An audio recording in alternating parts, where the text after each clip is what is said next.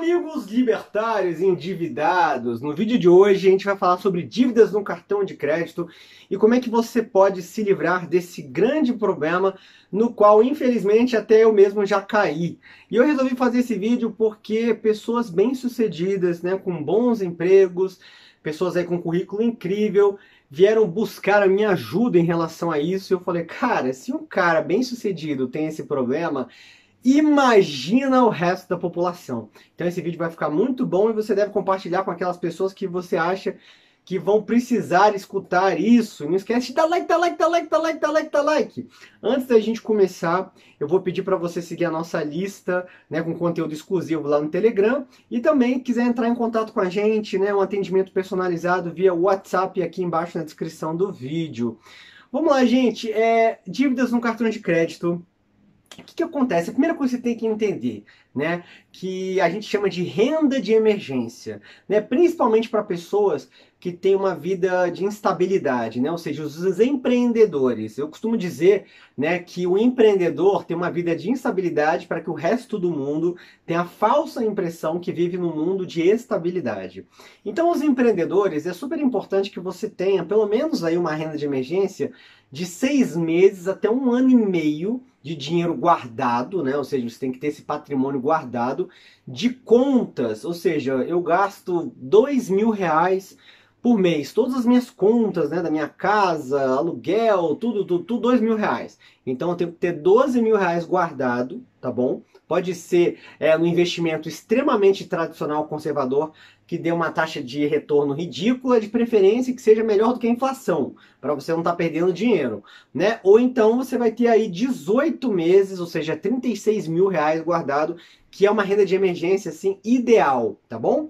Então esse valor é para quê? Para que se acontecer alguma coisa, como é o caso de uma dívida de cartão de crédito, você consiga cobrir essa dívida, ou seja, essa renda de emergência, ela existe, né, para você poder não estar tá pagando 14% 10% ao mês em taxa de juros.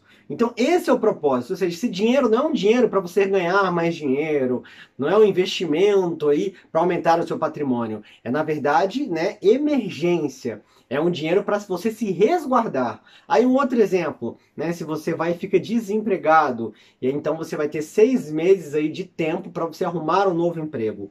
Então por isso que essa renda de emergência é tão importante. E aí, né, obviamente que a maioria das pessoas vão falar, ah, Roberto, pô, cara, eu não tenho renda de emergência e eu estou com uma dívida no cartão de crédito, que é o que a maioria das pessoas né, estão fazendo, o que está acontecendo com a maioria das pessoas. Então vamos lá, inclusive tem uns dados muito legais que dizem né, que se você não tem dívidas, você é mais rico do que. Eu não lembro o número agora, tá? Mas é 67, 87% da humanidade. Só para você ver qual a situação financeira do mundo e para você ver que as pessoas não têm educação financeira, o que, na minha opinião, é extremamente triste. Mas vamos lá. O que, que você tem que fazer? Né, a taxa de juros, a gente tem que fazer uma, uma, sempre uma comparação daquela taxa de juros. Ou seja, se eu estou pagando 14% ao mês na taxa de juros do cartão de crédito ou do cheque especial, olha essa manobra contábil, tá bom? Vamos lá, vou te dar a dica do século. Você tem que pegar um empréstimo, tá bom? Que, né, que tenha, né, que cobre uma taxa de juros menor do que a do cartão de crédito. Então, se você está pagando 14% né, ao mês, você tem que arrumar algo que seja menor do que isso. O ideal é que seja menor do que 5%, 4%. Mas a gente sabe que se a pessoa está endividada, é mais difícil dela pegar o empréstimo com uma taxa de juros menor. Por exemplo, nos Estados Unidos, né, que você não tem, você, seu nome não é negativado, né, o seu nome é positivado. No Brasil já chegou isso, mas nos Estados Unidos isso é muito mais bem elaborado. Então significa que quanto melhor pagador você é, menor a taxa de juros que você vai pagar. Então, por exemplo, se você é um cara que acabou de chegar nos Estados Unidos e vai comprar um carro, né, um carro de luxo, você vai pagar, por exemplo, num Porsche para fazer um leasing de 3 anos, vai pagar 700 dólares. Agora, se você é um cara né, que é um bom pagador, você mora nos Estados Unidos há 10 anos, paga tudo em dia, você provavelmente vai pagar, sei lá, 400 dólares, 350 dólares você vai pagar quase que metade do cara que é um mal pagador. Vamos colocar dessa forma. A gente sabe que todo mundo que vive no mundo real, né, infelizmente tem dívidas, tem problemas. Então, é, isso é uma outra coisa interessante também, né, que essa visão socialista, né, que a gente coloca no Brasil, que é o único país do mundo que você tem delegacia do consumidor, a gente tem que entender que dentro do capitalismo, dentro do mercado, é natural, né, que tenhamos dívidas, é natural que vamos recorrer a empréstimo para poder pagar, né, poder fazer investimentos e assim por diante. A, a burrice, né, o que, que é a burrice e o que é a coisa inteligente? A burrice é você pegar dinheiro, né, você fazer empréstimo para consumo, para alguma coisa passiva. E o inteligente é quando você pega dinheiro né, para uma coisa que vai trazer retorno financeiro. Então vamos lá, então você vai pegar, né? Existem algumas opções. Esse, esse, esse meu amigo, né, que, que veio me recorrer, né?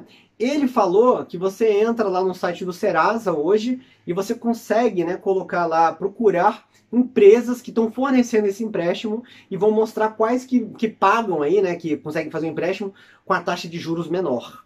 Isso é bem legal, né? Então vai mostrar várias empresas, várias financeiras. E a gente sabe, vou dar um exemplo aqui para vocês. O Banco Itaú, o Banco Bradesco, ele vai lá, né? Você é correntista, você chega lá e te oferece uma taxa de juros de 6%, 5% ao mês.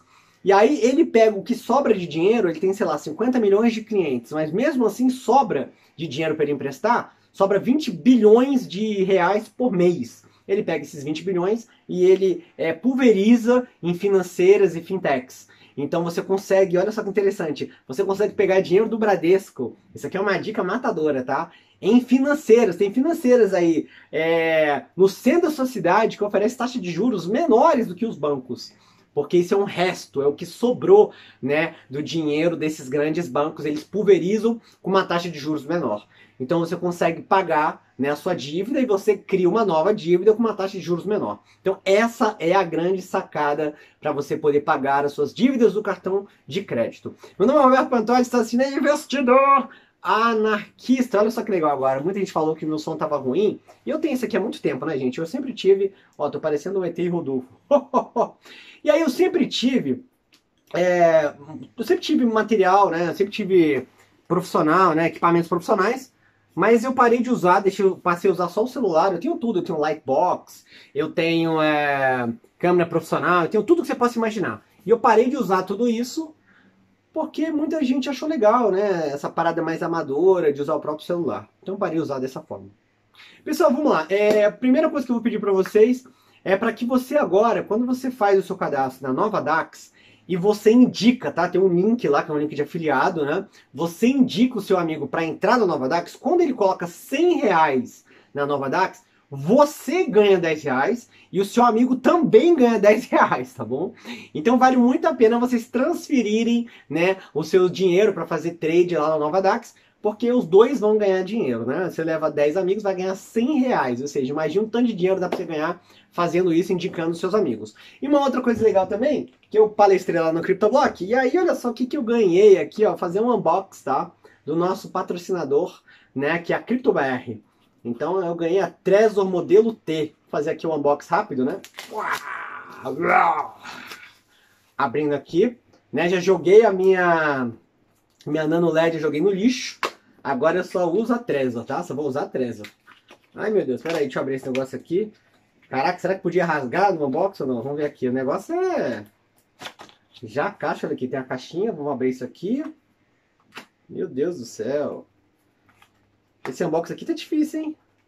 Tem que rasgar tudo aqui na lateral. Ha! Então a gente tem aqui, ó, o cabo, né? Aí você tem aqui, é... para você poder colocar o seu seed, né? O seu personal seed. Aqui tem um cabo para colocar seu personal seed, não é ótimo, né? Para você ver seu seed. Recovery seed, vamos ver aqui. Então você vai colocar suas palavras, né? As palavras-chave, legal. Aí aqui, um negocinho para poder pregar no laptop. Aqui um mini manual. E aqui, deixa eu ver aqui, vamos embora. Gente, o negócio é... A embalagem é muito legal, olha só. E aqui a gente tem a, tre... a Trezor, né? Modelo T. Olha só, ainda dá pra pregar, ó. Olha que legal.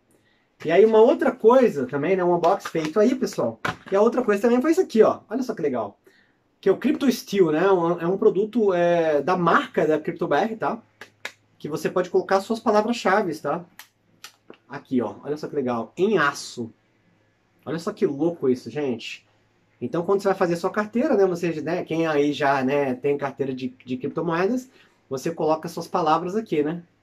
Todo mundo sabe o que, que é isso, né? Então você coloca aqui no aço e aí o legal, gente, que ele consegue até 850 graus de temperatura, né? Quando você escreve que não sai de jeito nenhum. E aí você pode fazer igual o, o John Wick. Você pega isso aqui, meu amigo, pega o chão da sua casa de concreto, você pega uma picareta, você fura um buraco no chão e você coloca isso aqui lá dentro. Aí se tiver um ataque um, um apocalipse zumbi, o seu dinheiro está guardado. Pessoal, então vamos agora para a segunda parte do vídeo. Vamos falar aqui primeiro da Betina, né? Ela tem um novo produto aí no mercado, né? Que ela fala várias coisas interessantes, fala que é de graça. Aí eu cheguei, li tudo, vi o vídeo. Betina, né? Betina, Betina ela tinha que ficar só falando, só. Ninguém quer saber de empíricos. A gente quer saber da, da, da Betina. Empíricos, fica a dica para você. Tá? Ninguém quer saber da Empíricos, ninguém se interessa pela Empíricos. A gente quer saber da Betina. Faz um Instagram da Betina, mostrando a Betina viajando pelo mundo que é muito melhor do que ninguém quer saber da Empíricos, né? De ter um curso online da Betina, Betina, Betina, para cá, para lá, Betina com várias roupas diferentes, né? É isso que a gente se interessa, tá? Ninguém quer saber da Empíricos. E aí o curso da Empíricos fala que é de graça, de graça, de graça, de graça. Você entra lá, tem que pagar, né? Sempre assim, né, cara? Pelo amor de Deus, é uma piada isso, né? Tudo é de graça, de graça, de graça. Aí você entra lá, você põe seu cartão de crédito, depois eu falei, pô, tá de sacanagem. Aí coloca assim, sete dias de graça, assim, sete dias você, né, né se você não, não, não, não avisar, vão começar a cobrar do seu cartão. Pelo amor de Deus, né, empíricos? Pelo amor de Deus. E aí outra coisa, né, gente, que o Bitcoin tá despencando, chegou a 6.500 dólares, tá? E aí eu vou deixar aqui, para finalizar o vídeo, vou deixar aqui um desafio para você que é trader, tá? Ou então para você que é buy and hold. Eu queria entender por qual motivo que você se interessa tanto, né, com a queda e com a subida do Bitcoin, né? Por que, você, é, por que é, quando tem uma queda no Bitcoin, por que, que o pessoal de trader, né, o pessoal também de buy and hold, né, que usa essas estratégias, por que, que vocês ficam tão preocupados com isso? Sendo que, teoricamente, né, um trader, ele se beneficia né, tanto na queda quanto na subida, né, porque ele funciona como uma corretora, como uma exchange, ou seja, você ganha dinheiro na variação da moeda. Então, quando cai, você deveria ficar extremamente feliz. Você pode falar, ah, Roberto, mas é claro que no momento que cai, eu tenho aquele, né, aquele meu ganho ele vai estar proporcional ao valor do Bitcoin, por isso que eu não gosto quando ele cai. Legal, mas a gente tem que lembrar que quando subir aquilo ali, né, aquele valor vai ser sempre o mesmo e ele vai estar subindo. Né? Então, assim, isso não faz muito sentido. Né? Então, assim, por que essa preocupação tão grande, sendo que essa variação é tão boa né, economicamente para os traders? E para né, o buy and hold, aí a pergunta é mais óbvia ainda, né? Porque, pô, quando está caindo, é o momento de comprar, né? Porque é o momento de que você vai estar tá realmente se beneficiando aí com a queda do Bitcoin. E aí a gente sabe que qualquer estratégia, tanto do mercado financeiro quanto do mercado criptofinanceiro, a gente faz uma estratégia que a gente vai diluindo o nosso risco. Então a gente vai fazendo compras mensais. Então se cai é muito bom, porque eu posso comprar mais. Né? Então eu queria entender essa, essa lógica. Coloca aqui nos comentários para eu entender essa lógica.